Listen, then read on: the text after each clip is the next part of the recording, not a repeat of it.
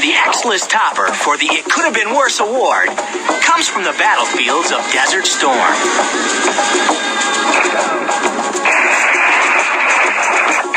We all know that the United States kicked limited butt in the Iraqi War. But there was another casualty.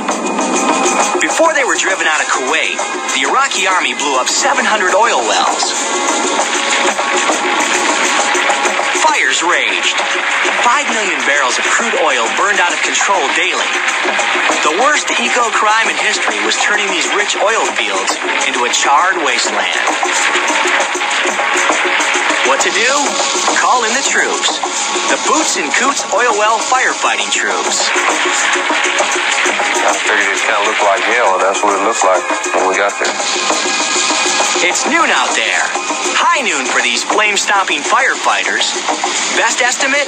Maybe 10 years to put out these infernos. Well, till them Texans showed up. Armed with tractors, seawater, dirt, and boxes of TNT, these fire brawlers go to work. It was just fire everywhere, smoke you couldn't see. Sound like about a hundred jets taking off at uh, any one time. Flame shot 2,500 feet up into the air.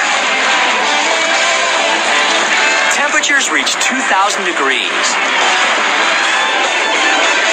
They hit the flames with water, shove 250 sticks of dynamite in a barrel, ram it down the mouth of a burning oil well, and literally blow out the flames.